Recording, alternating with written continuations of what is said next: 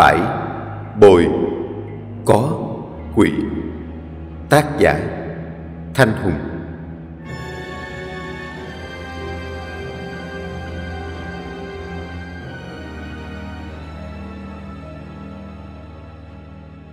Đêm đã về khuya, Trong một căn nhà rách nát ở ấp Cẩm Hà, Gió từ bên ngoài thổi vào bên trong lạnh ngắt, Xuyên qua những tấm tôn dùng làm vách nhà Tiếng trẻ con khóc kèm theo tiếng dỗ con của phụ nữ vang lên.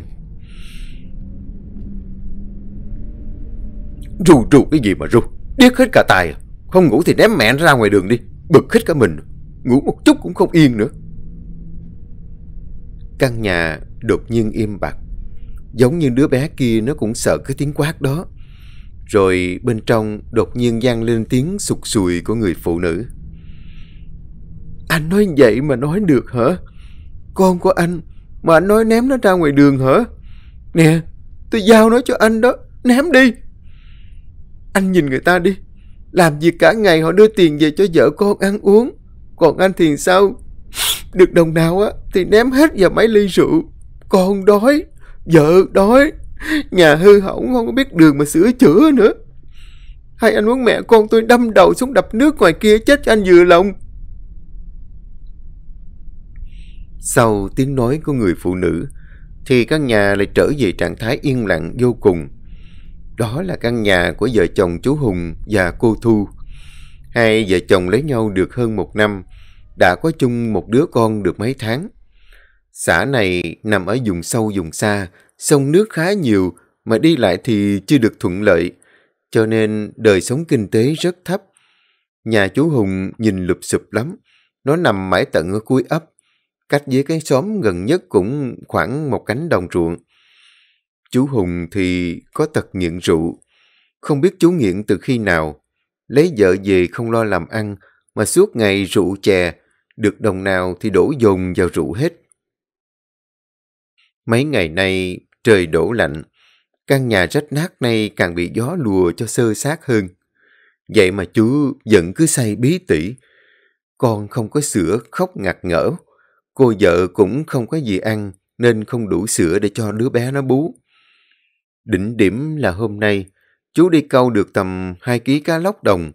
Những tưởng vợ con được một bữa ăn ngon. Ai dè, chú lại đem đi đổi rượu hết. Khi về cô Thu biết chuyện đã trách mắng chú đủ đường. Bây giờ con đói nó khóc, chú đang ngủ, bị làm cho thức giấc, liền quát mắng ôm tỏi. Cho nên cô Thu không chịu được mà đã quát mắng lại chú. Đêm đó trôi qua trong yên lặng. Chú Hùng cũng không ngủ được sau câu nói của vợ.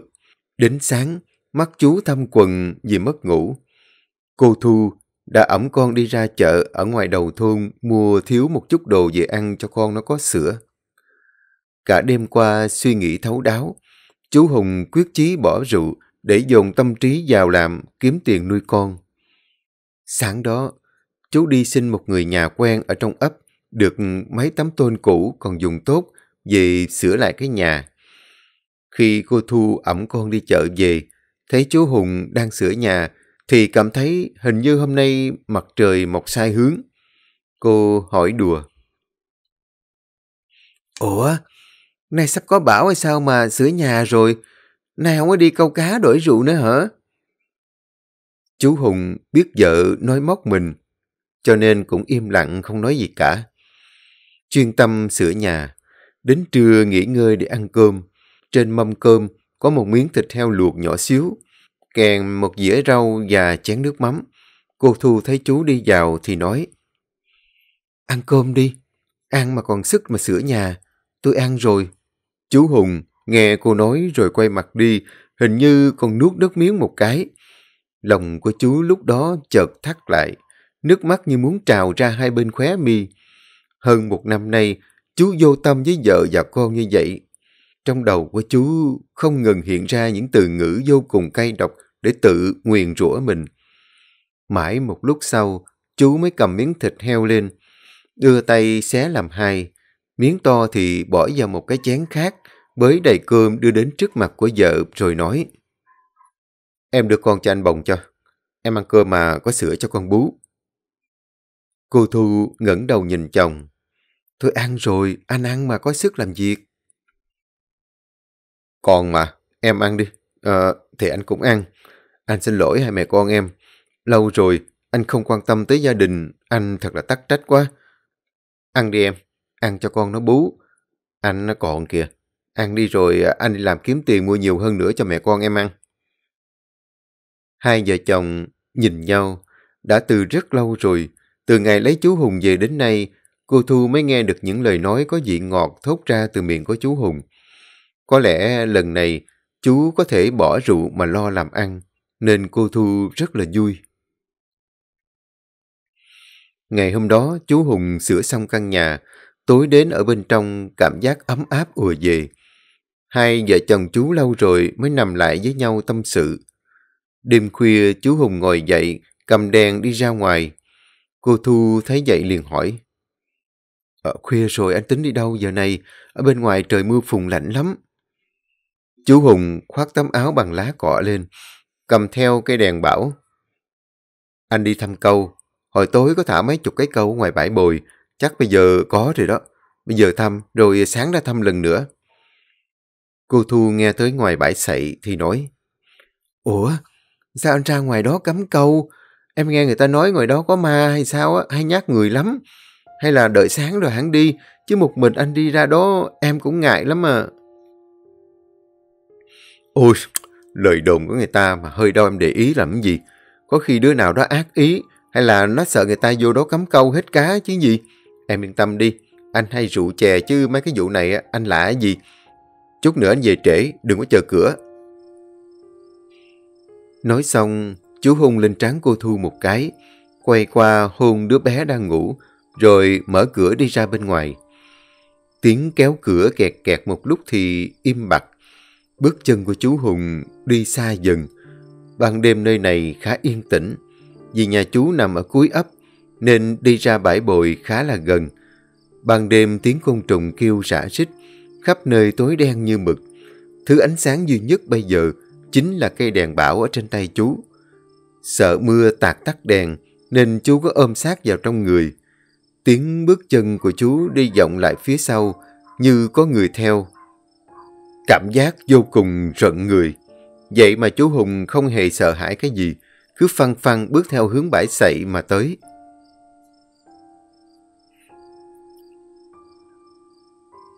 Mười lăm phút sau, phía trước mặt là một mảng đen tối du định.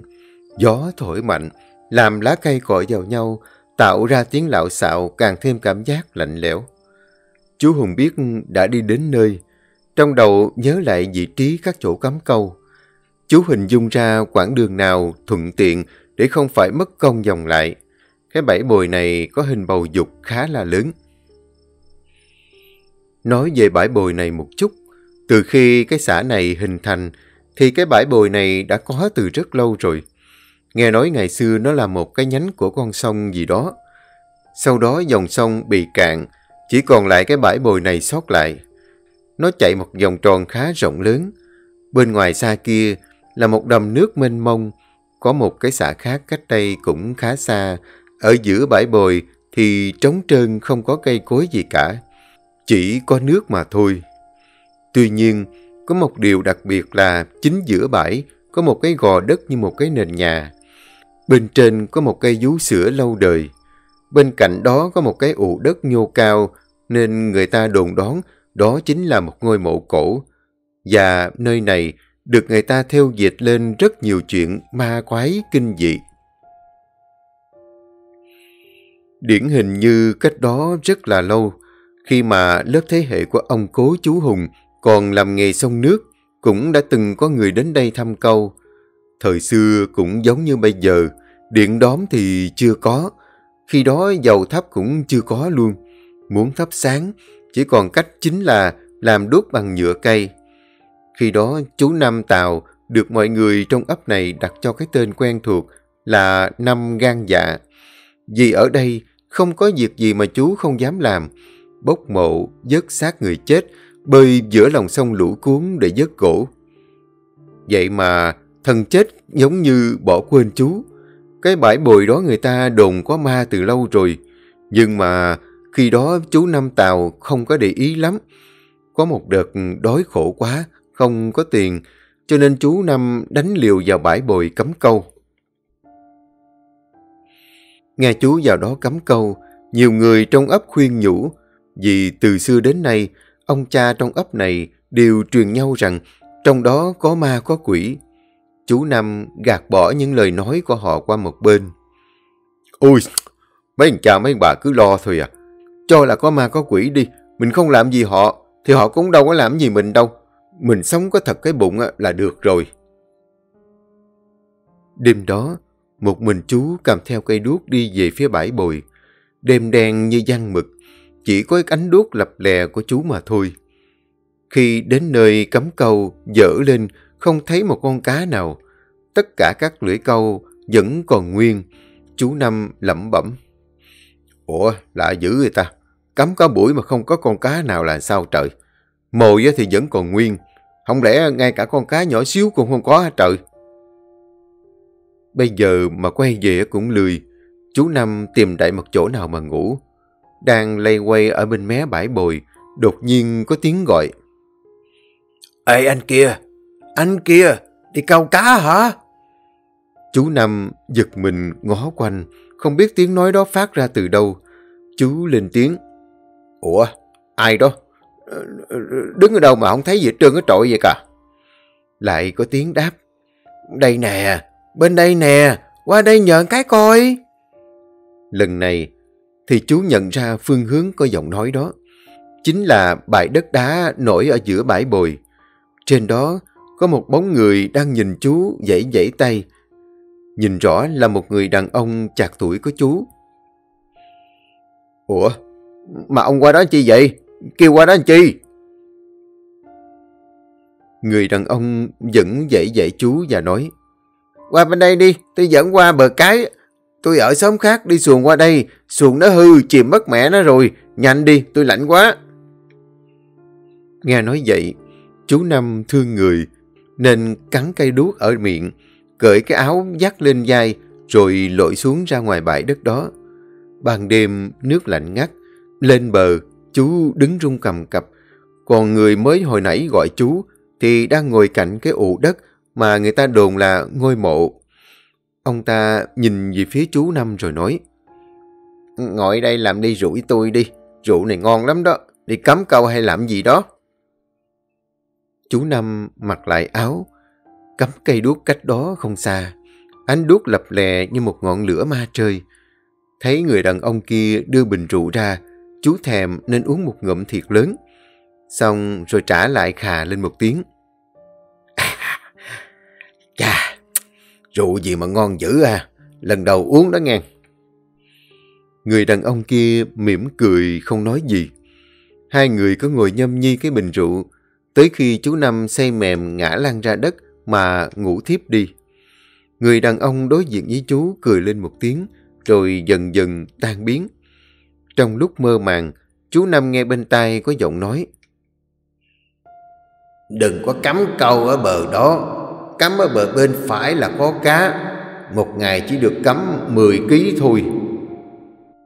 Đến sáng sớm, vì lạnh, cho nên chú Năm tỉnh dậy, thấy mình nằm co ro trên đất, đưa mắt tìm người đàn ông khi tối thì không thấy đâu.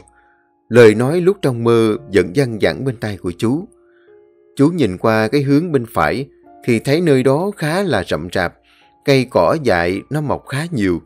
Lắc lắc cái đầu, chú bơi vào bờ để thăm câu. Cả đêm mà chỉ được duy nhất có một con cá nhỏ xíu. Chú thất thiểu đi về nhà. Đi được nửa đường, thì thấy vợ và vài người nữa hất hả chạy ra. Thì ra cả đêm chú không về. Chị vợ sợ quá, vừa sáng nhờ người ta chạy đi ra đây tìm chú. May mà chú vẫn bình an vô sự, không có chuyện gì. Tối đó, không hiểu sao chú tự nhiên đi qua bên phải theo như lời trong mơ cắm câu thử coi sao. Đến tối, đi thăm thì quả nhiên khá nhiều cá. Đột nhiên đang gỡ cá, lại có tiếng gọi tiếp. Ê, nay nhiều cá dữ hen, cho ít con nhậu chơi đi bạn Hiền. Nhận ra người đàn ông hôm bữa, chú cởi mở hơn. ôm mấy con cá lội qua bên khu đất đó. Bên mé bên kia khoảng đất, có một con xuồng nhỏ. Chú Năm hỏi, Ủa, đi đâu mà chèo xuồng qua đây chi vậy? Người đó nói, Thì đi chơi thôi, tôi biết kiểu gì ông cũng ra đây cắm câu nên đợi sẵn nhắm rượu đây nè. Rượu ngon phải có bạn hiền mà.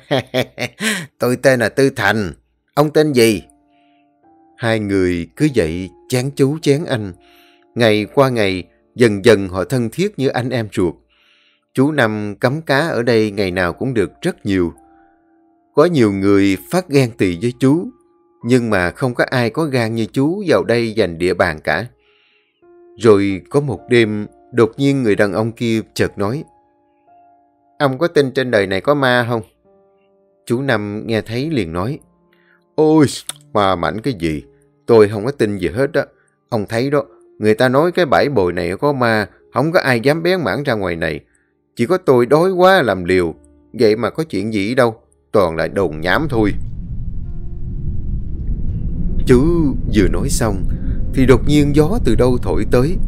Cây dối sữa bị gió thổi cho nghiêng ngã như muốn đổ. Tư lành đột nhiên cười lên thật lớn. Vậy hôm nay cho ông thấy mà nghe. Nói rồi, Tư lành đột nhiên biến mất ngay trước mặt của chú Năm. Lúc này, chú Năm đang ngà ngà say.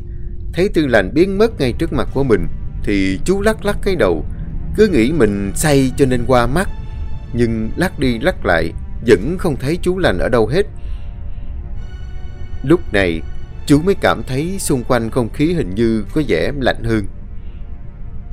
Thôi đi, cha ra đi cha ơi, đừng có nghĩ tôi say mà dọa tôi nghe. Nhảy xuống nước trốn rồi chứ cái gì, lên đây nhậu tiếp đi cha. Đột nhiên có giọng nói vang lên. Ông nhìn lên trên cây này coi, tôi là ma hay là người? Lúc này, chú nghe tiếng của tư lành trên cây vú sữa. Một cơn gió nhẹ thổi qua.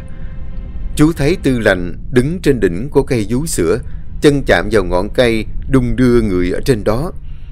Đến đây thì bao nhiêu rượu trong người của chú như bay biến hết. Chú nằm kêu lên. Ma! Trời ơi! Có ma! Chú vừa la vừa chạy. Nhưng sợ quá chân này đạp chân kia té ngã lăn ra đất úp mặt xuống đất.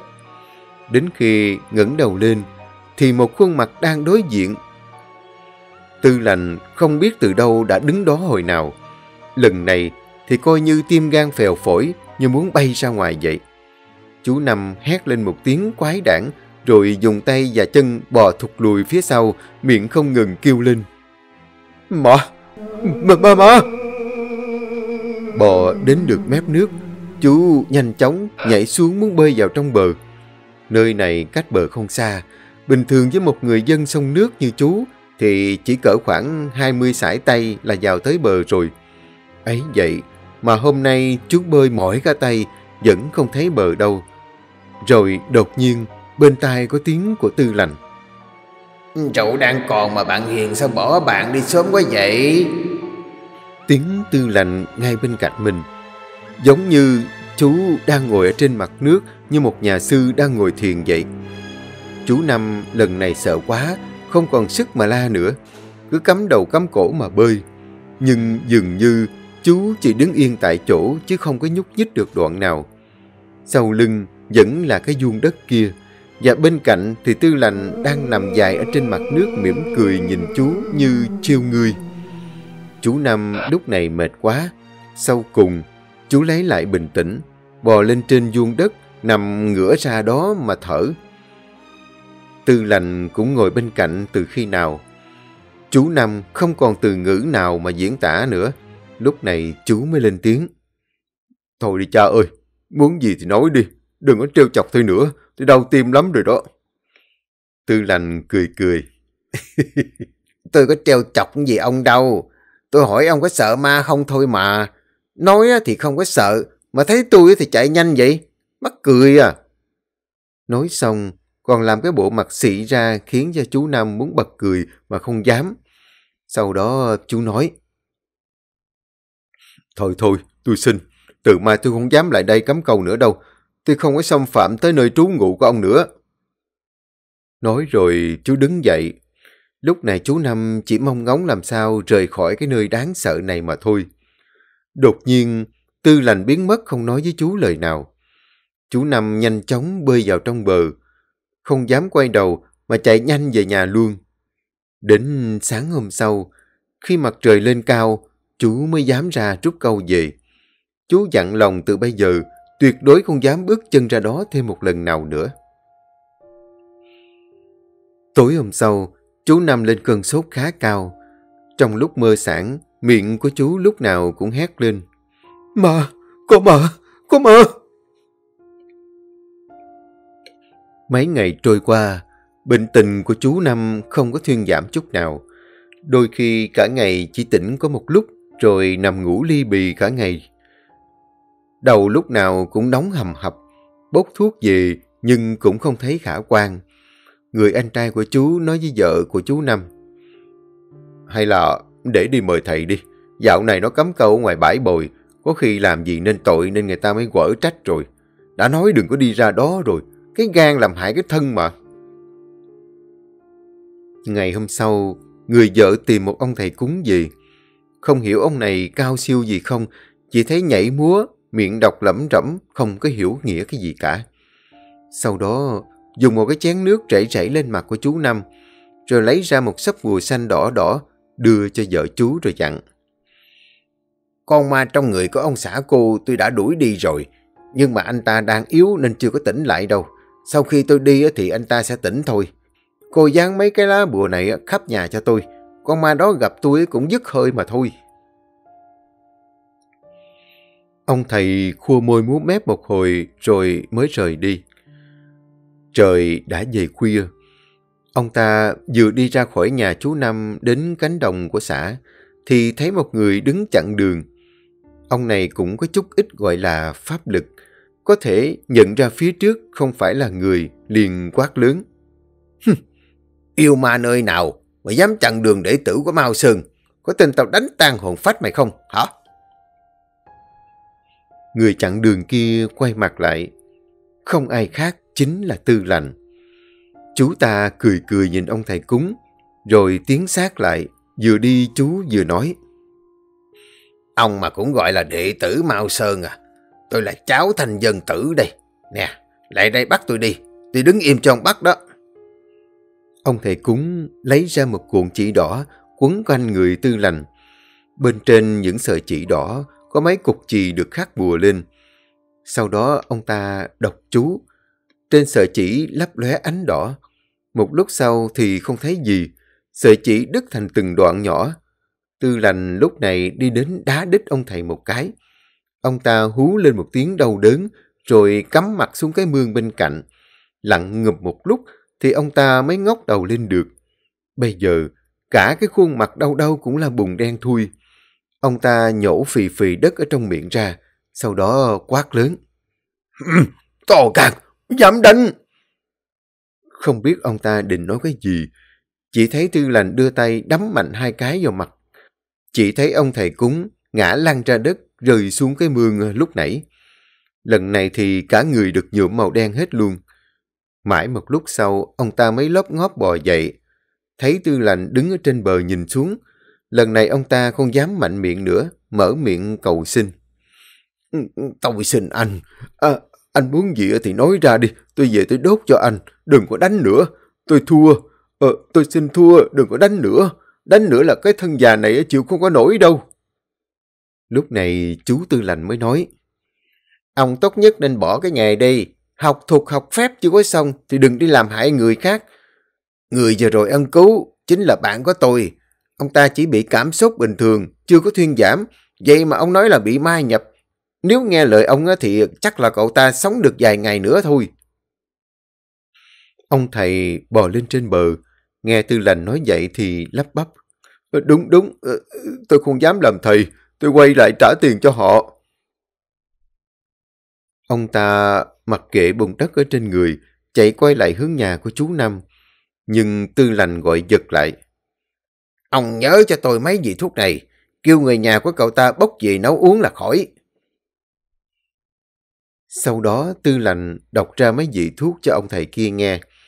Ông ta nghe đến đâu lẩm nhẩm trong lòng cho nhớ. Sau khi ngẩng đầu lên thì tư lành đã biến mất. Ông thầy ba chân bốn cẳng chạy quay lại nhà của chú Năm. Lúc này vợ của chú Năm nhìn thấy một người toàn thân đầy bùn đất lao vào nhà mình, liền hét lên. Ơi, trời ơi, ma quỷ, ma quỷ vô nhà. Trên tay sẵn cái chén thuốc vừa cho chú Năm uống, cô ném vào đầu cái người kia một cái. Chỉ thấy hắn la lên. Ôi, đừng có đánh, đừng đánh, tôi đây, tôi đây mà. Nói rồi, ông ta cố vuốt vuốt bùn ở trên mặt xuống. Cô vợ lúc này mới nhận ra ông thầy cúng, liền rối rít hỏi thăm. Ủa, ủa thầy hả? Sao thầy quay lại ừ, quay lại nhà con? Có chuyện gì không? Mà sao thầy toàn là bùn đất không vậy? Ông thầy không dám nói bị ma đánh, chỉ nói qua loa cho qua chuyện. Sau đó đọc mấy vị thuốc mà tư lành đọc cho khi nãy, dặn cô vợ bốc về sắc cho chú Nam uống. Vì sợ quay lại gặp tư lành, nên ông ta xin tá túc ở lại một đêm. Sáng hôm sau mới vừa sáng, ông đã cuốn gói rời đi ngay. Cô vợ đi cắt thuốc theo như lời ông thầy nói, thì chỉ hai ngày sau, chú Năm đã có thể rời khỏi giường. Mấy ngày nay, chú ngủ ly bì, nhưng trong mơ, chú vẫn thấy được tư lành có đến thăm mình. Sau khi khỏi bệnh, chú ngồi suy nghĩ mấy ngày. Nghĩ lại hai tháng qua, mình bạn với ma, nhưng mà tư lành đâu có gây khó khăn gì cho chú cả. Cũng không có làm việc gì hại đến bản thân của chú. Còn cho chú nhiều cá nữa là đằng khác. Vậy thì tối nay chú quyết định đi đến bãi bồi để cắm câu. Người ta không làm gì thì việc gì phải sợ chứ. Tối đó, chú lại đến bãi bồi cắm câu. Vừa cắm câu xong, thì bên trong vuông đất đã có tiếng tư lành gian lên. Rượu ngon lại thiếu bạn hiền, thế gian ai nỡ uống rượu cùng ta. Chú Năm nghe thấy cái lời đó thì biết tư lành đang trách mình, khi biết chú ta là ma thì tìm cách chạy trốn. Chú liền đáp. Rượu ngon đã có bạn hiền, mồi ngon cũng có đợi người qua đây. Sau đó chú nhảy ủng xuống nước, rồi bơi qua bên kia. Tư lành đã lấy ra hũ rượu quen thuộc mà mỗi khi hai người hay uống. Chú Năm không nói gì, Tư lành cũng không nói gì. Cả hai cứ ngồi đó uống rượu. Gió nổi lên từng cơn, từng tiếng xào xạc trên cây vú sữa vọng lại. Bất chợt, chú Năm nói. Ờ, chú chưa kịp nói gì, thì tư lành đã chặn lại. Tôi biết ông muốn hỏi cái chuyện gì rồi. Chưa tới lúc phải nói ra chuyện đó đâu. Ông dám làm bạn với tôi là tôi vui rồi. Ngày xưa, đã có rất nhiều người tới đây văn câu, thả lưới. Nhưng rồi họ nhìn thấy tôi thì không có ai dám qua đây nữa. Tiếng dữ đồn xa. Cuối cùng nơi này giống như là một khu cấm địa của tôi vậy. Thì ta là chỉ có ông là liều đến đây cấm câu. Cũng chính là ông không có sợ tôi. nè, uống đi bạn hiền. Hai người uống rượu đến say bí tỉ. Lúc này chú Nam định hỏi Tư Lành số rượu này lấy đâu ra. Ông ta là ma mà, sao uống được rượu? Vậy mà Tư Lành lại nghĩ chú đang muốn hỏi chuyện gì đó. Sáng sớm tỉnh dậy, chú Năm đi thăm câu đem cá về. Danh tiếng chú Năm gan dạ truyền đi xa, bởi vì số cá chú kiếm được một đêm cắm câu có thể bằng ba bốn người dồn lại hai ngày cho nên cũng có người khá tò mò. Trong đó có một người em bà con với chú. Cậu ta tên Tuần. Hôm nay Tuần đến nhà chú Năm ăn nhậu. Đến khi chú Năm đã say bí tỉ thì cậu ta mới hỏi dò. Ừ, anh Năm à, dạo này làm ăn ổn quá ha. Nghe nói anh cắm cá ở trong bãi bồi. Trúng mánh lắm phải không? Có thể dẫn đường cho em đi chiên chén cơm được không? Trong lúc chú Năm say rượu, không còn kiềm chế được bản thân nữa, thì chú đã lỡ miệng. Muốn kiếm cá thì cũng được thôi, nhưng mà mày có sợ ma hay không? Ở ngoài đó có ma đó. Muốn kiếm được cá thì phải nộp cho người ta một ít cái gì đó gọi là báo đáp, nếu không thì thôi. Tuần nghe xong thì nói chắc nịch. Ừ, cái này anh Năm cứ yên tâm đi. Em không có sợ ma gì đâu. Em chỉ ờ, sợ đói, không có đồ ăn mà thôi. Tối hôm nay, anh Năm dẫn em đi bữa thử nghe. Tối hôm đó, chú Năm tỉnh rượu. Chú vô cùng ân hận vì những lời mình đã nói trong lúc say rượu. Chú không biết nếu mà dẫn thêm thằng Tuần vào đi trong đó, tư lành có chịu hay không. Bên ngoài cổng đã có tiếng gọi ý ấy của thằng Tuần. Anh Năm, anh Năm ơi, đi cắm câu nghe. Rời khỏi nhà, chú Năm và Tuần dọc theo con đường đi đến bãi bồi. Không gian xung quanh yên tĩnh, chỉ có mỗi tiếng chân của hai người đạp trên nền đất, nghe loạt soạt mà thôi. Một lúc sau, họ đi đến bãi bồi, gió từ bên ngoài thổi tới, nghe có vẻ rất là lạnh. Phía trước mặt cây vú sữa đang đông đưa qua lại theo từng cơn gió. Chú Năm có cảm giác như từ trên cây vú sữa có một đôi mắt đang theo dõi hai anh em chú. Chú Năm và Tuần chia nhau cắm câu bên bãi bờ, rồi sau đó chú nói với Tuần. Thôi, mày cắm xong thì đi về đi. Có gì sáng mai đến đây lấy cá. Tao ở lại đây, rồi chút nữa tao về. Tuần không về mà còn đứng lại nói. Ừ, anh cho em ở lại đây đi. Em muốn nhìn thấy con ma mà anh đã gặp ừ, xem cái mặt nó như thế nào. Thấy Tuần nói năng hơi mất lòng nên chú Năm đáp. Mời ăn nói cho đàng hoàng nghe Tuần. Cái gì nên nói thì nói, cái gì không nên thì im lặng. Tao đã có lòng tốt dẫn mày tới đây chia chén cơm thì biết điều chút đi. Đừng để cá không có mà ăn, rồi cái mạng cũng mất nghe mày. Tuần cười gằn. Thôi đen Năm ơi, anh dọa ai chứ dọa em hả? Em biết thừa trong này không có con ma nào hết đó. Toàn là mấy lời bịa đặt không chứ gì. Em không có về, thì anh kêu nó ra đây đi, cho em xem cái hình dạng của nó như thế nào. Vừa nói dứt lời, thì gió ở đâu đột nhiên nổi lên. Mặt nước nơi này đang yên lặng, chợt có những cơn sóng to xô vào tận trong chỗ hai anh em chú đang nằm. Lúc này chú Năm biết Tuần đã chọc giận tư lành, cho nên chú quát. Mày cút về cho tao đi, nếu còn đứng ở đây thì từ nay trở đi, đừng có anh em gì với tao nữa. Tuần cũng cảm nhận được nơi này như sắp có chuyện gì xảy ra.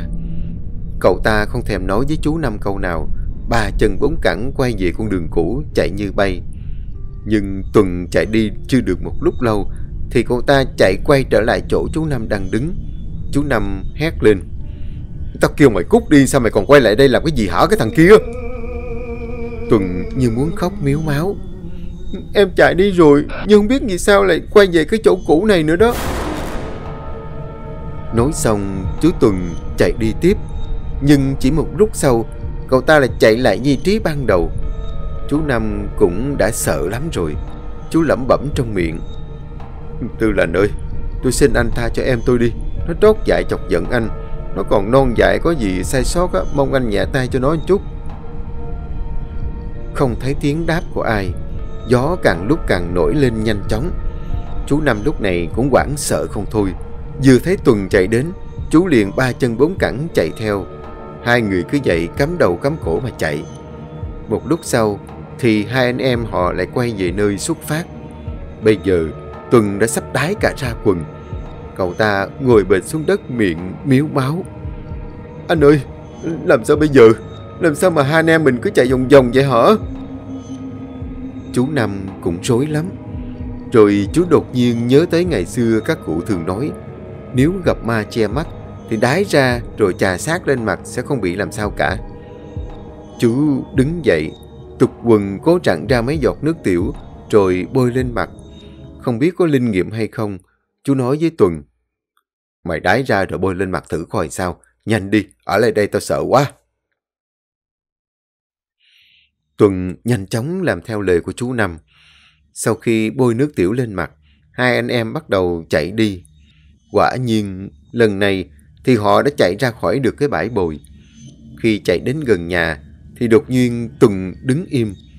Chú Năm từ phía sau lao tới, không kịp dừng lại, tông trúng vào Tuần, khiến cho cậu ta lao về phía trước. Chú Năm quát. Mày cùng hả cái thằng kia, đang chạy tự nhiên đứng lại chi vậy? Tuần không nói được tiếng nào, mà miệng cô ú a ú ớ. Tay chỉ về phía trước, mắt không dám chớp. Chú Năm cũng đã nhìn thấy cách đó không xa, có một cái bóng màu trắng đứng chắn ngang đường. Điều đặc biệt là cái người đó bay là đà trên mặt đất chứ không phải đứng bằng chân. Chú Năm lần đầu tiên mới gặp chuyện như vậy. Tuần thì bây giờ đã sợ lắm rồi. Cậu ta đái cả ra quần, chân đứng không vững, quỳ gối xuống đất, miệng lắp bắp gọi chú Năm. Anh Năm ơi, làm sao bây giờ? Anh Năm ơi, làm sao bây giờ hả anh? Chú Năm bây giờ cũng bất lực, không biết phải nói như thế nào. Chân chú cũng phát rung lên vì lần đầu tiên gặp cái tình huống như vậy. Mãi một lúc sau chú mới lên tiếng. Thôi, thôi đi, có gì thì ờ, cho chúng tôi xin lỗi. Xin anh đừng có dọa chúng tôi nữa, chúng tôi biết lỗi rồi, uh, tụi tôi xin lỗi anh. Cái bóng trắng kia không lên tiếng, thân hình của hắn càng ngày càng tiến gần tới bọn họ. Chú Năm vừa lùi, vừa kéo Tuần lại. Sau cùng, trên trời, nổi lên một tiếng sét thật to, lóe sáng toàn bộ không gian. Cái bóng trắng kia chợt biến mất, để lại không gian một tiếng cười dặn dặn, kèm theo vài lời nói ghê rợn. Chúng mày sẽ phải chết! Chú Năm và Tuần, sau khi thấy cái bóng trắng kia biến mất, liền chạy một mạch về nhà. Chú Năm về nhà liền bị sốt mê man mấy ngày không thuyên giảm. Tuần cũng như vậy, nhưng cậu ta thì trụ được một tuần thì chết vì sốt cao. Chú Năm vẫn còn sống, nhưng từ đó đầu óc có chút mơ hồ và có lúc tỉnh lúc mê. Cũng kể từ khi chứng kiến anh em chú Năm như vậy, câu chuyện ma khoái về cái bãi bồi đó càng được nhiều người tôn sùng, đồn đoán rộng hơn. Ban ngày cũng không ai dám bén mảng đến nơi đó cho dù đứng cách xa. Trâu bò cũng không dám đến gần. Dần dần nó bị lãng quên. Thương hải tan điền, bao nhiêu lớp người ngã xuống ở cái ấp đó thì câu chuyện ma quái về bãi bồi cũng chưa có ai lãng quên. Thậm chí các bậc cao niên còn biên soạn ra một lời cấm trong tục lệ của ấp, chính là cấm tuyệt đối người trong ấp đi ra cái bãi bồi đó.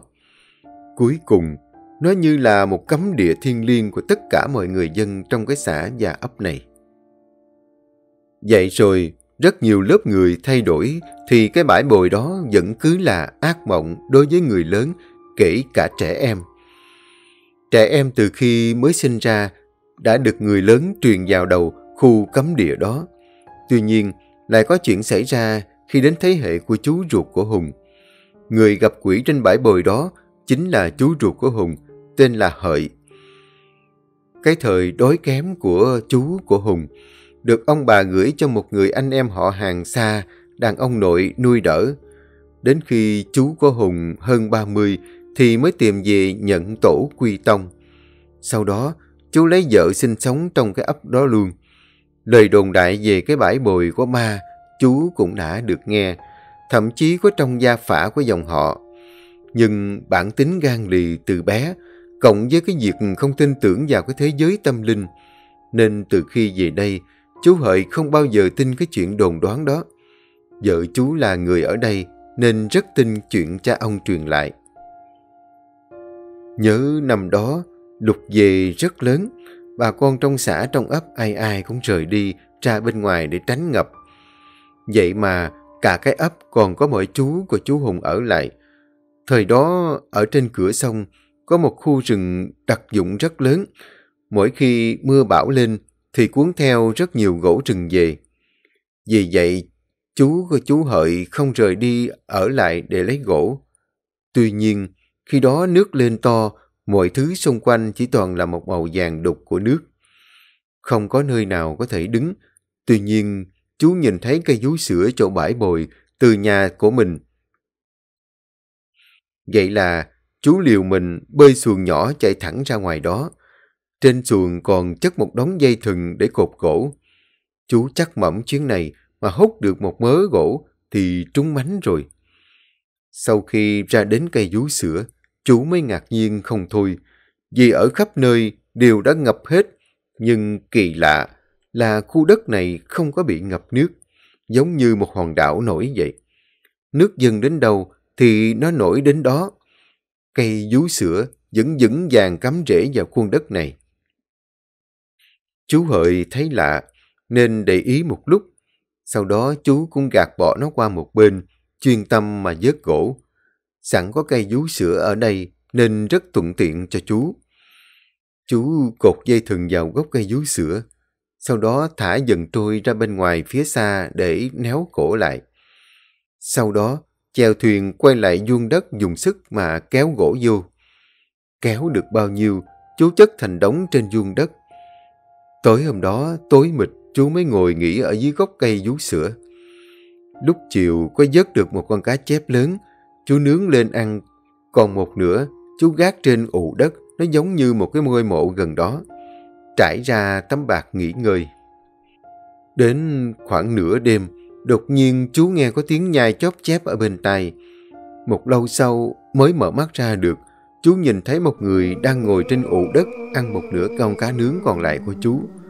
Chú Hợi cũng giật mình, rồi bật dậy hét lớn. Trời ơi, con bà mày, mày là cái thằng nào mà dám trèo lên đây ăn cá của tao hả? Mày là đứa nào? Không có tiếng nói trả lời. Cái bóng trắng đột nhiên biến mất ngay trước mặt của chú Hùng. Bên tai của chú gian lên tiếng cười lanh lảnh. Chú Hợi lúc này gai ốc và tóc tai dựng đứng lên. Nhưng tính bạo gan từ bé, cho nên chú nhanh chóng lấy lại được bình tĩnh. Dụi dụi con mắt mấy lần, sau đó lại đi lại nhìn con cá trên ụ đất. Miếng cá ngon bây giờ trở nên mốc meo ôi thiêu, giống như để mấy ngày rồi. Nhìn thấy như vậy, chú Hợi biết là gặp ma rồi. Nhưng chú không những không sợ, mà còn ngồi lại dưới gốc cây vú sữa chắp tay nói. Tôi nghèo khổ nên mới làm việc vớt gỗ này. Nếu các đấng ẩn khuất có điều gì muốn tôi làm cho thì báo mộng cho tôi. Đừng có trêu chọc tôi làm cái gì. Tôi không có động chạm gì đến mấy người, thì mấy người đừng có đụng đến tôi. Cùng lắm thì chết thôi, để yên cho người ta làm ăn đi. Nói xong, chú nằm xuống gốc cây vú sữa ngủ tiếp. Nhưng vừa mới chợp mắt được một lúc, thì cảm giác khuôn mặt nó có cái thứ gì đó nó cọ qua cọ lại. Chú Hợi mở mắt ra. Trước mắt của chú là một cái thứ gì như cái lưỡi người nó đang đưa qua đưa lại liếm trên mặt của chú. Chú Hợi đưa tay lên giật mình một cái. Một tiếng hú quái dị từ trên cây vú sữa vọng xuống. Chú nhìn thấy trên đó đang ngồi một người thù lù, tóc tai rối bời, nó đang nhìn mình chầm chầm. Thứ chú nắm ở trên tay chính là cái lưỡi của nó. Dội vàng thả tay ra, chú Hợi ngồi bật dậy. Lần này chú quảng sợ lắm. Chú nhanh chóng chạy lại chỗ cái xuồng cột gần đó để chèo xuồng đi chỗ khác. Đống gỗ kia đợi ban ngày rồi đến lấy cũng được. Chiếc xuồng cứ lướt đi như bay, chú Hợi cứ cắm đầu cắm cổ mà chèo. Đến khi mệt quá thì dừng tay. Chú nhìn ngó xung quanh xem đây là đâu. Nhưng khi mới vừa đưa mắt lên nhìn thì lại thấy cây vú sữa ngay trước mặt của mình. Chiếc xuồng chỉ cách ghế vuông đất chưa được 20 phân. Vậy có nghĩa là từ hồi nãy tới bây giờ xuồng của chú không chạy được chút nào. Vậy thì tại sao chú lại cảm nhận được xuồng nó đang chạy chứ? Không thể ở lại nơi này thêm lúc nào nữa. Chú lại bắt đầu chèo xuồng đi. Lần này chú nhìn rất kỹ. Xuồng có thể rời ra khỏi vuông đất đó. Mãi khi chỉ còn nhìn thấy từ ở xa thì chú Hợi mới thở vào một hơi. Nhưng đột nhiên, mũi thuyền phía trước nặng trùng xuống. Chú Hợi quay đầu nhìn lại thì hết hồn hết vía vì phía đuôi xuồng không biết từ bao giờ đã ngồi một người ở trên đó. Tóc tai bù xù, mặt đang cúi xuống. Chú Hùng nhấc cái mái chèo đưa lên trước mặt rồi lắp bắp. Mày là ai? Mày là đứa nào mà chèo lên xuồng của tao? Cút xuống khỏi xuồng ngay đi. Cút khỏi ngay đi. Không tao đập cho mày một trận bây giờ. Người kia không nói năng gì mà chỉ cúi gầm mặt xuống. Lúc sau, không chịu được nữa, chú Hợi đưa cây máy chèo lên định đập về phía người đang ngồi kia. Vừa hay lúc đó, hắn ngẩng đầu lên nhìn chú. Một khuôn mặt kinh khủng hiện ra. Đó là một cái đầu lâu xương trắng. Cả cái khung xương hiện ra trước mắt chú. Những sợi tóc dài trên đầu bắt đầu tự động rớt xuống đáy xuồng. Cứ từng chòm một, từng chòm. Bên trong hốc mắt là hai cái hố sâu đen ngòm. Từ bên trong đó, chú còn thấy lúc nhúc những con dòi màu trắng nó bò ra bò vô. Nó bò qua bò lại, giống như đang mỉm cười nhìn về phía chú vậy. Chưa dừng lại ở đó, cái miệng kia đột nhiên há ra thật lớn. Trăng từ ở trong miệng nó rớt ra, kèm theo một mùi hôi thối phả vào mặt của chú.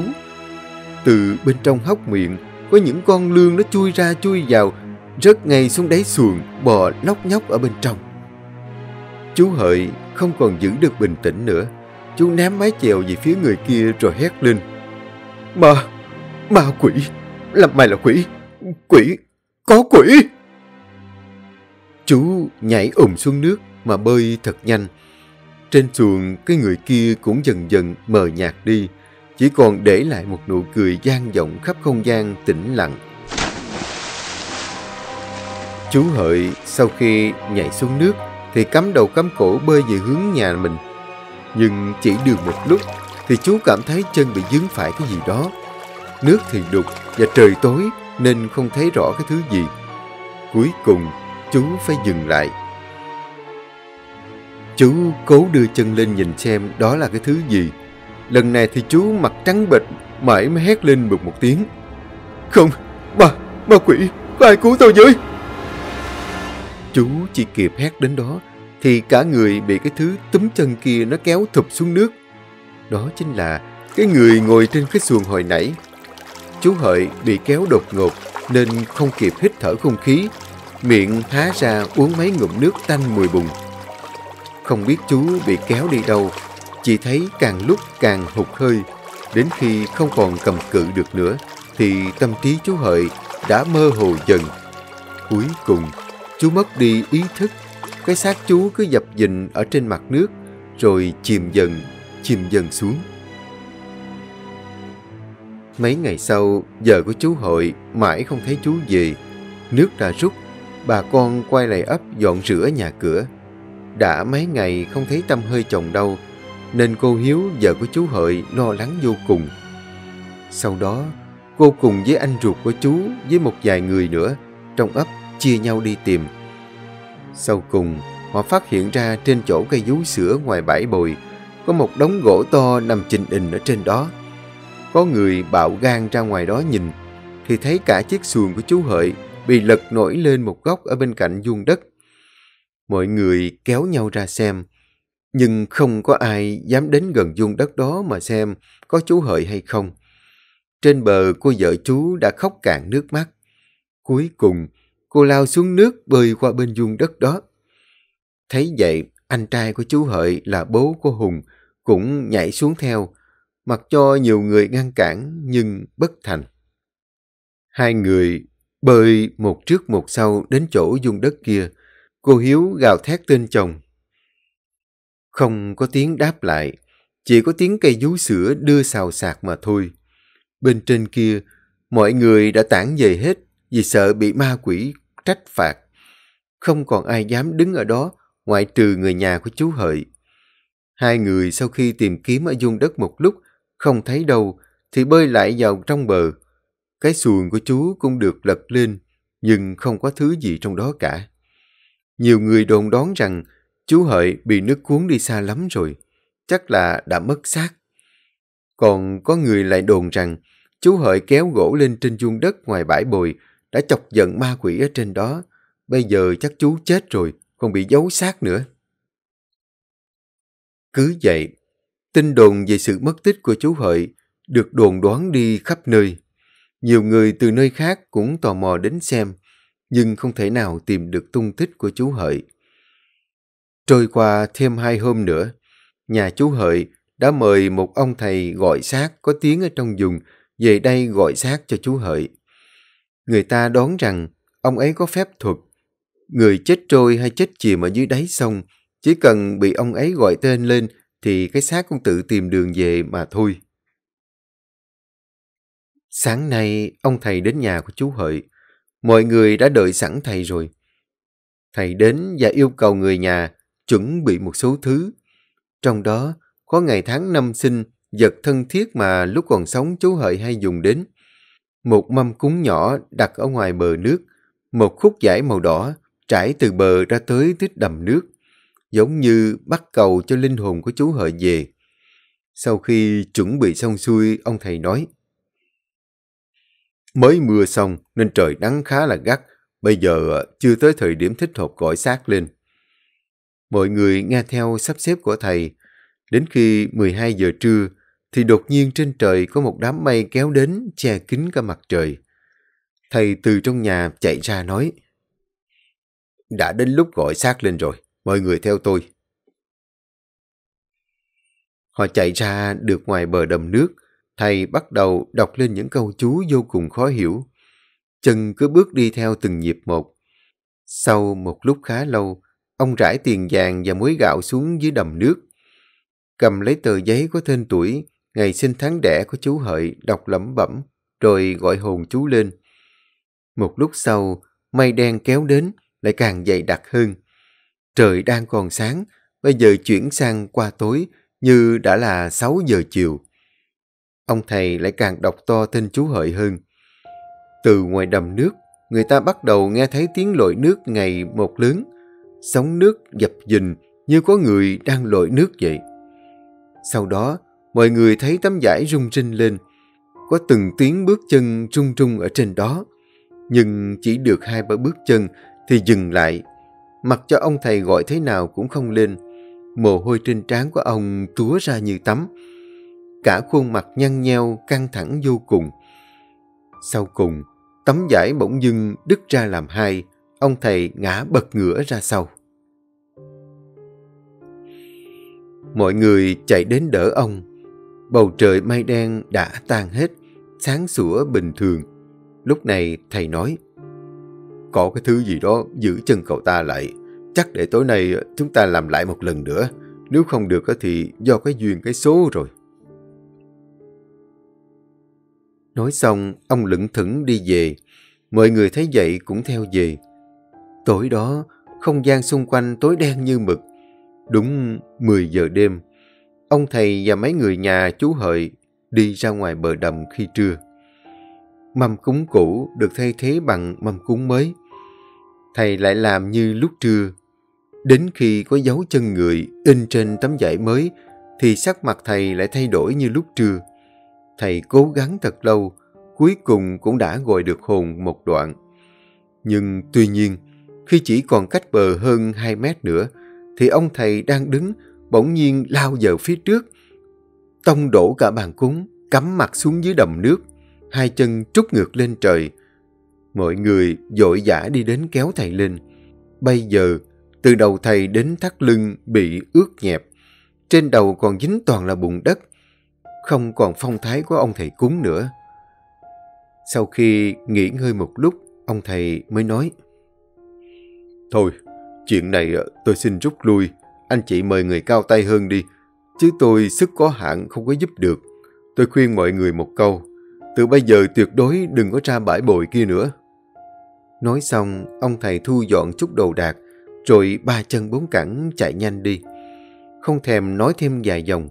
Sau khi ông thầy đi, mọi người không hiểu thầy vì sao lại đi nhanh như vậy. Sau này có dịp gặp lại ông ấy, thì ông mới kể lại rằng trong lúc gọi hùng lên, thì ông bị một bóng ma đứng ở phía sau đá mạnh vào mông một cái, khiến cho ông ngã chuối nhào xuống dưới đầm nước.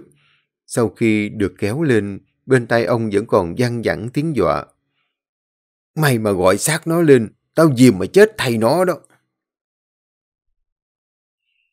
Kể từ ngày đó, nhà chú Hợi mời nhiều người thầy về gọi hồn chú lên, nhưng không thể nào tìm được. Mọi người xem như chú đã chết mất xác rồi, cho đến bây giờ.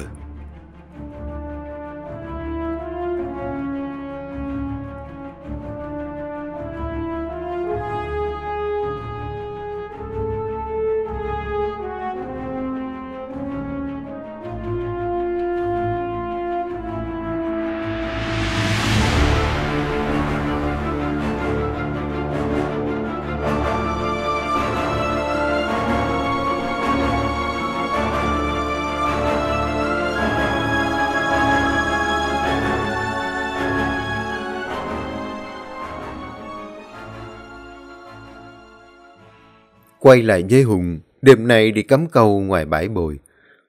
Mãi miên man suy nghĩ những chuyện kể ma quái về bãi bồi mà chú đã đến nơi cắm câu không biết.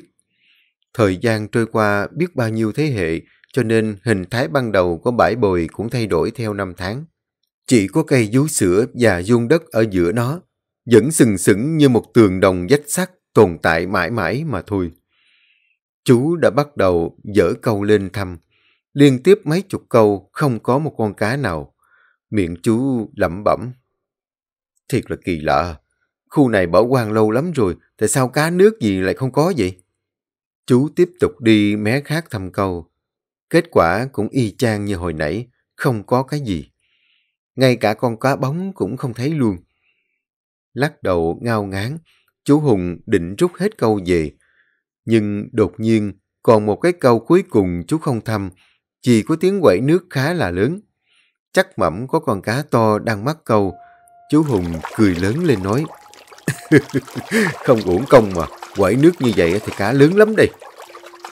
Nói rồi, chú nhanh chóng cầm cái đèn chạy đến để rút câu. Khi chú vừa mới rút câu lên, thì xuất hiện trước mặt chú là một con cá trê to như bắp chân người lớn. Đặc biệt là con cá trê này cả người nó chỉ toàn là màu trắng. Riêng đôi mắt thì lại đỏ ửng, kinh dị vô cùng. Vừa nhìn thấy con cá, chú Hùng cũng sợ hãi không thôi. Nhưng nghĩ tới bán con cá to này mà kiếm được một mớ tiền, nên chú mạnh dạn cầm nó lên, cột một sợi dây cỏ quanh mang, rồi cầm về. Câu thì cấm lại tại chỗ.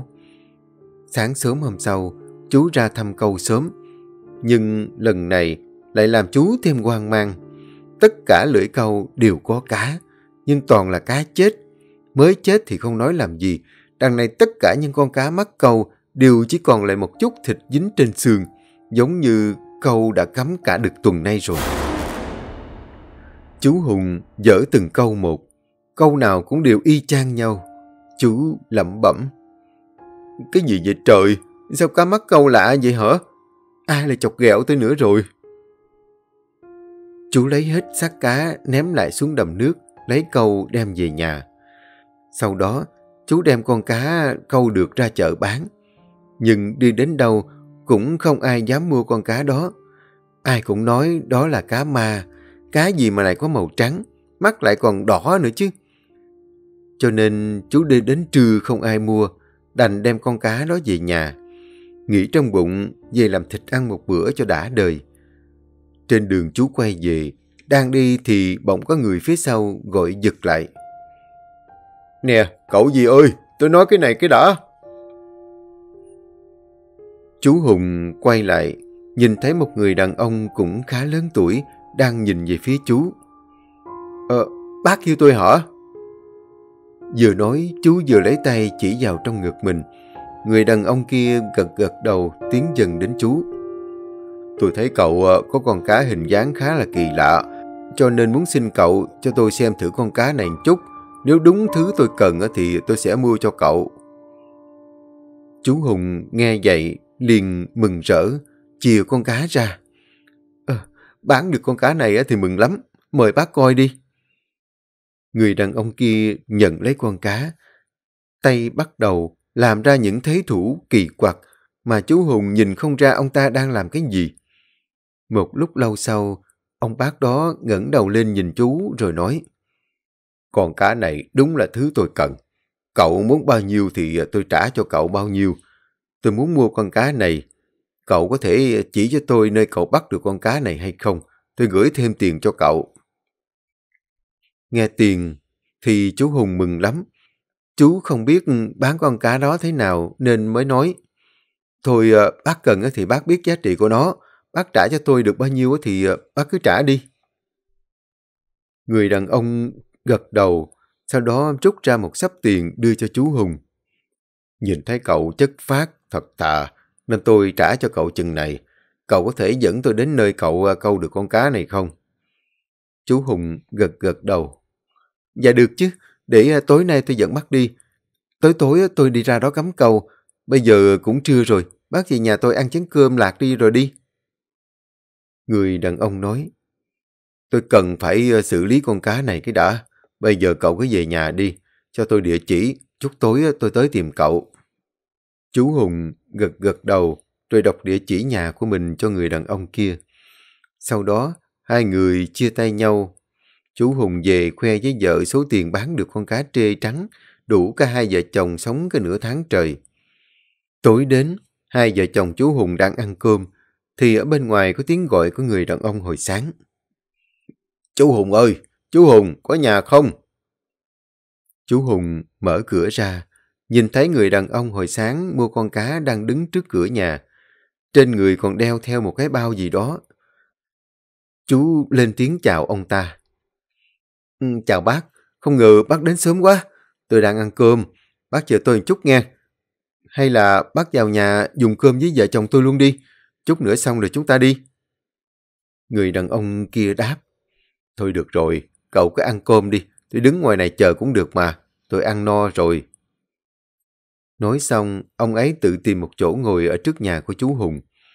Chú đi vào trong nhà ăn dội vàng, sau đó đeo theo cái giỏ đựng câu đi ra ngoài. Hai người rời khỏi nhà. Trên đường đi, hai người nói chuyện với nhau khá là vui vẻ. Trời bắt đầu chuyển mưa.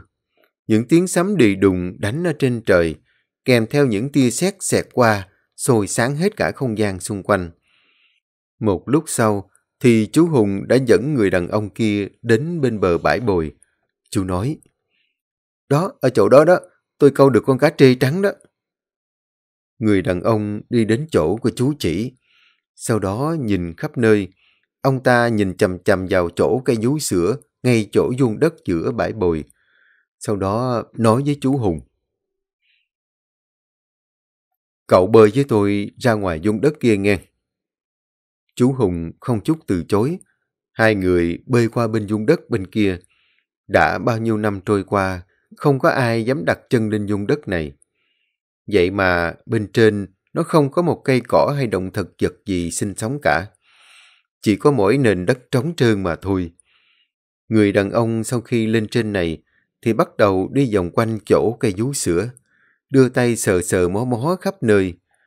Sau đó đi xem xét cái ụ đất nhô cao như cái mộ. Mãi một lúc sau, ông ta hết gật đầu rồi lắc đầu. Sau cùng, ông ta mỉm cười, đi đến bên cạnh của chú Hùng. Số tiền anh bán cá một ngày được bao nhiêu tôi trả cho anh. Từ mai anh đừng đi đến nơi này nữa kể cả người khác. Tôi nhờ anh nói với mọi người đừng có vào nơi này được chứ. Chú Hùng thấy ông ấy rút tiền ra cũng ham. Thức đêm thức hôm chỉ được có vài đồng, mà nay ở nhà cũng có tiền. Chú liền nhận tiền, cảm ơn xong rồi rời đi. Chú không có quan tâm người đàn ông đó ở lại làm cái gì. Đợi sau khi chú Hùng rời đi, người đàn ông lấy trong cái túi đeo ở sau lưng ra lĩnh kỉnh, chai lọ, giấy vàng, kèm theo mấy lá bùa màu tím. Đặt những cái thứ đó xuống đất, ông ta lẩm bẩm. Không ngờ, truyền thuyết về mảnh đất quỷ ám này là sự thật. Hôm nay, ta gặp thì coi như duyên trời đã định, để ta xem quỷ mạnh hay ta mạnh. Ông ta đi đến bên cây vú sữa, dùng dao khắc lên cây một hình thù kỳ quái. Từ bên trong thân cây vú sữa, một dòng chất lỏng màu đỏ như máu chảy ra. Thứ chất lỏng đó chảy đến đâu thì người đàn ông dùng một chén hứng lên đó. Một lúc sau, chén đầy thì ông ta mới dừng lại. Chén chất lỏng đó vừa đầy thì đột nhiên xuất hiện ra một khuôn mặt tà ác ở trên đó. Nó nhe ra những chiếc răng màu đen nhìn về phía người đàn ông. Ông ta không quan tâm, lấy ra một chiếc lò thủy tinh đổ ra một thứ bột màu trắng vào trong cái chén chất lỏng đó. Tiếp theo, lấy ra một cái lá bùa dán bên trong cái chén chất lỏng. Rồi tiếp tục, ông ta lấy ra một cái xẻng gấp nhỏ, bắt đầu đóng những cây cọc xuống nền đất theo những phương vị khác nhau. Miệng bắt đầu nhẩm tính điều gì đó. Chỉ thấy một lúc sau, ông ta mỉm cười, đi qua bên hông cây vú sữa tới sát mép nước, dậm chân lên đất mấy cái, rồi đưa cái xẻng lên, đào xuống. Một lúc sau, tiếng xẻng đụng vào cái thứ gì đó kêu lên len keng. Ông ta cười thầm rồi lẩm bẩm. Lên đi, Xuất hiện đi, cái duyên của chúng ta chính là gặp nhau. Hôm nay ta sẽ giúp anh đoàn tụ với gia đình và tổ tiên. Đặt cái xẻng qua một bên, ông ta cúi người xuống đào móc cái thứ gì đó. Một lúc sau, một chiếc đầu lâu người được đào từ dưới đất lên. Liên tiếp ông ta móc lên từ dưới đất nguyên một bộ xương người hoàn chỉnh, nằm ở sát bên một cái rễ cây vú sữa khá là to. Đột nhiên, trên cây vú sữa bắt đầu rung lên dữ dội. Từng tiếng than khóc nỉ non kèm theo quán hận bắt đầu gian lên. Mới đầu, người đàn ông không để ý, nhưng sau đó, những tiếng nỉ non ngày càng to lên, nên ông ta lấy ra một lá bùa nữa, dán vào gốc cây. Một bóng hình mờ nhạt hiện ra ngay trên cây vú sữa với khuôn mặt ghê gớm. Người đàn ông xếp bộ xương người vào một tấm bạc nhỏ đặt trên nền đất. Ông biết cái thứ trên cây vú sữa đã xuất hiện. Ra đi, đừng có lén lút trình mò nữa. Ta biết người đã nhìn thấy hết tất cả. Có lẽ người tồn tại mấy trăm năm cho nên khinh thường trình độ pháp thuật của ta. Nhưng ta tin rằng ông trời có mắt không thể để ma quỷ như người lọt lưới được đâu. Ông ta vừa nói xong, đột nhiên dưới chân rung lên dữ dội. Có một vật gì đó đen và tròn từ dưới đất lao lên, túm chặt lấy chân của ông. Cũng may ông đã có sự chuẩn bị, cho nên nhảy lùi về sau tránh né. Trên tay ném ra một nắm bột màu trắng. Miệng của ông ta lẩm bẩm. Bỗng nhiên, cái đám bột kia bốc lên bao trùm lấy cái thứ vừa tấn công ông. Nó bị đau nên thụt vào trong đất biến mất, không còn chút tâm hơi. Gió chợt nổi lên, cây vú sữa xô qua xô lại như muốn đổ. Một người chợt xuất hiện ngay gốc cây, ánh mắt đỏ như máu, bộ mặt vô cùng ác độc, nhìn về người đàn ông gằn lên từng chữ một. Mày phải chết! Nói xong, nó lao về phía người đàn ông, trên miệng không ngừng nhả ra những làn khói màu đen. Bên trong đó, từng tiếng thét chói tai gian lên. Chúng hòa quyện vào nhau, lao thẳng về phía người đàn ông. Ông ta không né tránh, mà rút từ trong đai lưng quần ra một cây kiếm nhỏ. Chui kiếm có một đồng tiền âm dương xỏ dây treo lên, cắt mạnh vào tay một cái. Thân kiếm là nhúm máu của ông. Ông đưa lên ngang đầu rồi hét lớn. Kết thúc tại đây đi. Năm tháng mày làm ác tại nơi này đã kết thúc rồi. Kiếm và khói đen da chạm vào nhau. Người đàn ông bị văng về phía sau lăn mấy vòng, xém bị rơi xuống dưới nước. Đám khói đen cũng tản đi. Con quỷ vẫn đứng im tại chỗ. Khuôn mặt của nó không có cảm xúc gì cả. Nó lại bắt đầu hét lên. Từng con vật màu đen như rắn từ dưới đất chui lên tấn công người đàn ông kia. Ông đứng dậy chưa vững thì bắt đầu nhảy liên tục để né tránh. Kiếm đưa lên chém loạn xạ trên nền đất.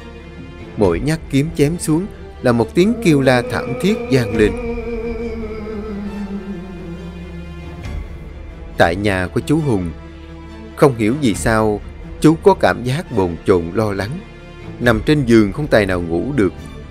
Từ khi về nhà, chú chợt tò mò không biết người đàn ông kia ở lại bãi bồi làm gì. Chú tuy gan dạ, nhưng không dám ở lại đó qua đêm. Không hiểu chú nghĩ thế nào mà ngồi bật dậy, mặc vào cái áo dài tay rồi cầm cái đèn đi ra khỏi nhà. Chú muốn đi đến bãi bồi xem người đàn ông kia làm cái gì. Khi chú đến bãi bồi nhìn qua vuông đất, chỉ thấy người đàn ông kia đang cầm cái thứ gì đó múa may trên đó. Lúc thì ngã trái, lúc thì ngã bên phải. Rồi chú lại thấy ông ta bị ngã lăn quay ra đất, lăn xuống dưới mép nước. Một lúc sau lại đứng dậy múa tiếp. Chú định cất tiếng gọi, thì chợt nhìn thấy đối diện người đàn ông có một cái bóng trắng mờ mờ đang đánh nhau với ông ta. Chú bịt miệng để không la lên. Hai chân của chú như nhũng ra vì sợ. Chú không ngờ nơi này có quỷ thật. Vậy người đàn ông kia là ai mà có thể đánh nhau với quỷ? Chú đang định chạy quay về nhà, thì cái bóng trắng kia chợt há miệng ra. Một luồng khói đen từ miệng nó bay ra, kèm theo tiếng hét bay thẳng về phía của chú Hùng. Chú không biết nguy hiểm đang đến gần, chỉ có cảm nhận rằng không khí xung quanh đang dần lạnh thêm. Chợt chú nghe người đàn ông kia hét lên một tiếng rồi rơi tõm xuống dưới nước. Lúc nãy, con quỷ nó bỏ tấn công ông ta mà nó lại muốn giết chết chú Hùng. Vì vậy cho nên ông ấy nhảy qua cứu chú rồi bị thương rơi xuống nước. Chú Hùng thấy ông ấy bị rớt xuống nước liền quên hết sợ hãi nhảy ùm xuống kéo ông ta lên bờ. Lúc này miệng ai nấy cũng trào ra máu khuôn mặt trắng bệch. Ông ấy nắm tay chú Hùng nói thiều thào. Chạy đi, kệ tôi, nơi này có quỷ, chạy đi. Chú Hùng cổng ông ấy lên vai định chạy đi, nhưng chân bị cái thứ gì đó giữ chặt. Nhìn xuống là một cánh tay đen đúa đang kéo giật chú về phía sau. Chú Hùng hét lên một tiếng, giận hết sức bình sinh chạy đi. Nhưng chạy chưa được mấy bước thì dấp ngã, cả hai té lăn tròn ở trên đất. Chú thấy cái bóng kia đã nhấc bổng người đàn ông kia lên. Ông ta thở khò khè vì bị thiếu oxy. Chú chạy đến tính cứu ông ta, nhưng chỉ lao qua như không có gì vậy. Lúc này không cứu được người đàn ông kia thì chỉ có chết mà thôi. Chú nhìn thấy cây kiếm của ông ấy rơi trên đất, dội vàng lụm lên chém vào cái bóng mờ kia một cái. Nó nhanh chóng thả người đàn ông ra, hét lên một tiếng, đưa đôi tay tới bóp cổ của chú Hùng. Nhưng lúc này, trên trời đột nhiên nổi lên hàng loạt tia sét đinh tai nhức óc. Rồi một cột sét to dài như cây cột dội xuống ngay ngọn cây vú sữa. Một tiếng nổ kinh hùng vang lên. Cây vú sữa bị chẻ ra làm hai. Con quỷ đang đánh với chú Hùng hét lên một tiếng thật chối tai rồi biến mất. Cây vú sữa bốc cháy dữ dội. Ngọn lửa sôi sáng khắp không gian. Từ bên trong ngọn lửa đó, chú Hùng nhìn thấy cái bóng mờ kia đang gào thét không ngừng. Người dân cũng nhìn thấy đám cháy từ từ xa xa, nhưng cũng không ai dám đến gần mà xem. Sau cùng, chú Hùng dìu người đàn ông kia rời đi. Trước khi rời đi, ông ấy gói ghém bộ xương đào được ở dưới gốc cây vú sữa theo. Ngày hôm sau, rất đông người tập trung trước nhà của chú Hùng.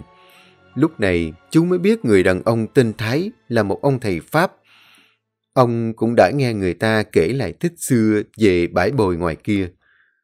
Và trong lúc vô tình, ông nhận được một sự cầu cứu từ hồn ma chú Hợi. Chú nói linh hồn và thân xác của chú đang bị giam giữ bởi con quỷ ở dưới gốc cây vú sữa. Cho nên ông Thái không quản đường xa xôi lặn lội đến đây. Chưa biết tìm chỗ nào thì lại thấy chú Hùng bán con cá trê trắng. Giống dĩ nó là cá trê đen nhưng ăn sát người chết, tích tụ âm khí trong người cho nên to lớn nhanh. Tuổi cũng dài hơn đồng loại của nó và đặc biệt là đôi mắt của nó đã chuyển sang màu đỏ.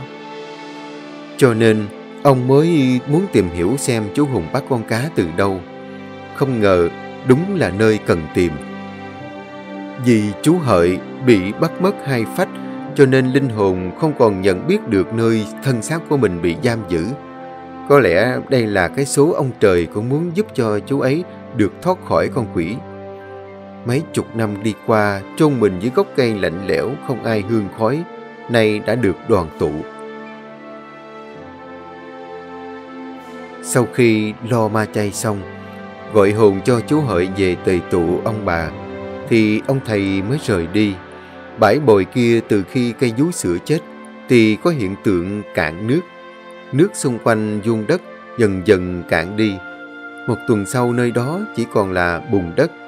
Bên dưới hiện ra một tầng lớp là xương cá chết chất chồng dày từng lớp một. Cuối cùng thì bà con trong ấp cũng thở phào nhẹ nhõm nơi ác mộng với bao nhiêu thế hệ, cuối cùng cũng chỉ còn lại một cái đám đất bùn mà thôi.